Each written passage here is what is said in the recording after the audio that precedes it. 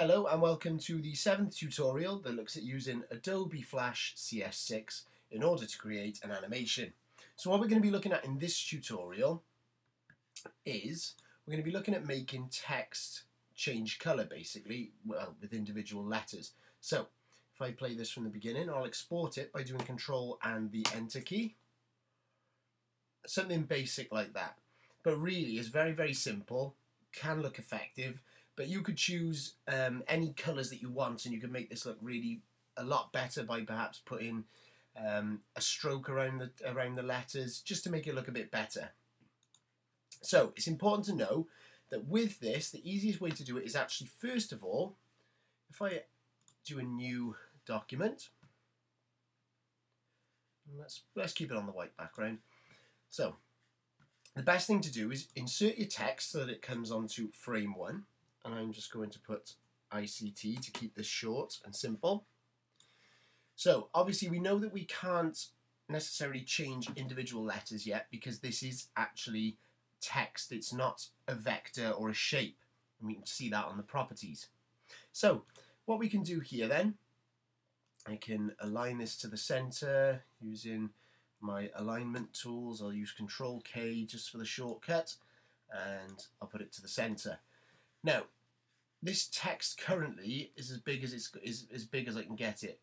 So what I'm going to do first of all then is I'm going to break it up into a shape or a vector. So I'm going to do Control B once, which we've looked at before, and then Control B again to break each part of that text up into vector shapes.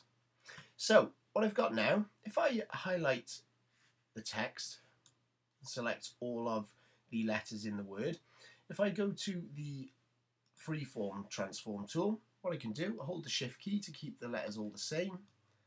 And there we are. Now I've made it a lot bigger. We can do that because it's a shape. So what I'm going to do now, I'm going to insert a keyframe here. But first of all, I'm going to change the colors. So I'm going to have this one here as blue. And I'm going to make sure I choose specific colors so I can remember where they are. So I'm going to keep the blue there, a nice bold blue. I have red next, and then I'll keep green there. So that's what my first frame looks like. So what I want to do next, in the next keyframe, I want the blue to move to the C, and the red to move to the T, and then the green to move to the I.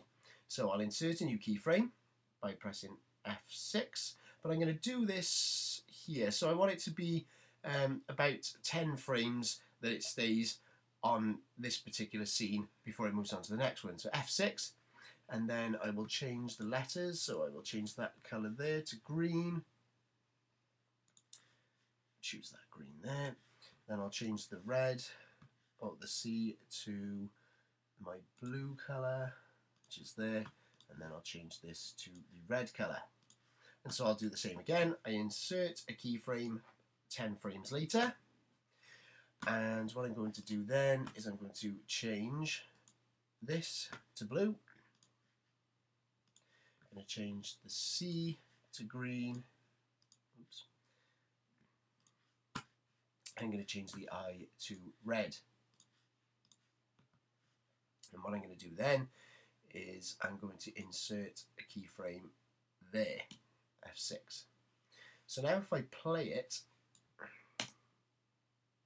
you can see exactly what it does. And if I export it by doing Control and Enter, you can see what it will look like when it's finished.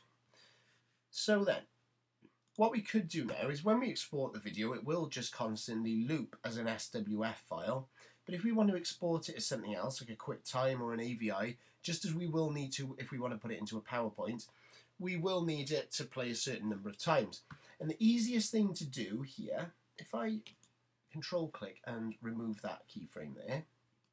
What I can do, if I highlight these, uh, let's say I click on the very last frame with anything on it, and hold shift when I click on this key there, on keyframe there. There we are. It selects all of it.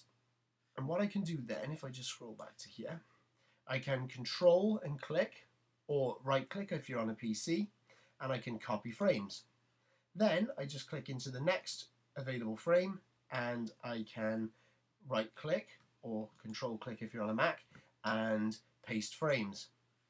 So I could do that again and again, do that to there, right click and paste frames, just so that it repeats itself. As you can see, it's a lot quicker than having to go through and do that process every single time. So copying and pasting the frames is a nice easy way to do it. And this effect can look good. I take more time over it than I have and use slightly better colours, but mine were quite bold just for this demonstration. So that's how we can use that. But remember, this is for essentially a frame by frame animation and you must break the text down into a vector shape first.